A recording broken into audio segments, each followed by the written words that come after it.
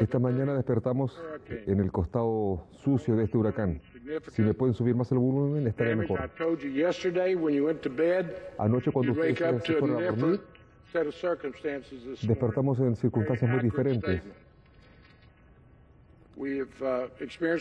Estamos experimentando, experimentamos vientos de 90 millas por hora, más hasta 15 pulgadas de lluvia. Y quiero hacer énfasis en que no dejen que los cielos claros, despejados, los engañen. Aún tenemos aguas altas.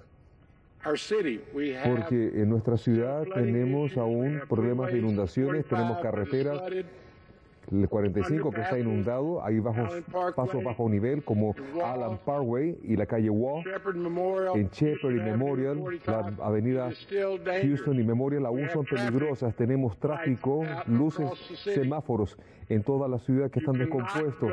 Ustedes no pueden pasar a través en una esquina sin estar preocupados por su seguridad, al igual que la de sus prójimos. Esta mañana vi que la gente no estaba bajando la velocidad cuando estaba llegando a una esquina con semáforos descompuestos.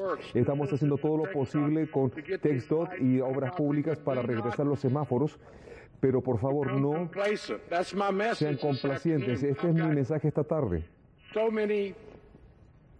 Tenemos a muchos rescatistas, jefes de departamentos, colegas del concilio de la ciudad, del gobierno federal, congresistas que están trabajando juntos. He estado en contacto con la casa del condado Harris, con el vicegobernador Patrick. Estamos haciendo todo lo que se puede. Vamos a tener Hicimos rescates esta mañana y continuamos así el resto de la tarde haciendo rescates. Ahora vamos a ir a hacer la evaluación, pero necesitamos que el público nos ayude. Por favor, déjenos hacer una evaluación en toda la ciudad. Déjenos poder mirar. ¿Cómo están los abuelitos en los asilos de ancianos? Cuiden a sus vecinos y a los más vulnerables. Barry fue una, una tormenta muy severa y vamos a hacer todo lo posible. Quiero hacer una pausa.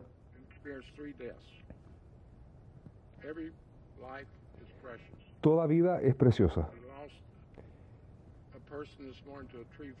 Perdimos esta mañana una persona que murió porque le cayó un árbol en el área de Spring Amble. Falleció una persona debido a un incendio causado al parecer por un relámpago. es una situación trágica. Y uno de nuestros héroes,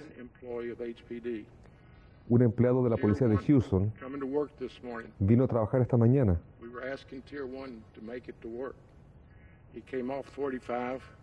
Él vino a la, por la carretera 45 y llegó a un área inundada en un paso bajo nivel. Sabía que estaban problemas. Llamó a la policía de Houston para pedirles ayuda.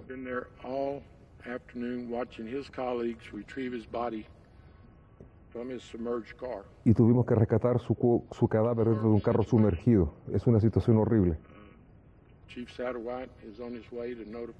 El jefe de policía de Houston va a notificar a su familia y yo le pido que tengamos a su familia en nuestras oraciones. La vida es frágil.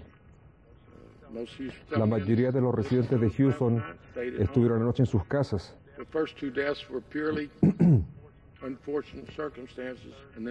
Y la tercera persona era un servidor público que estaba yendo a trabajar.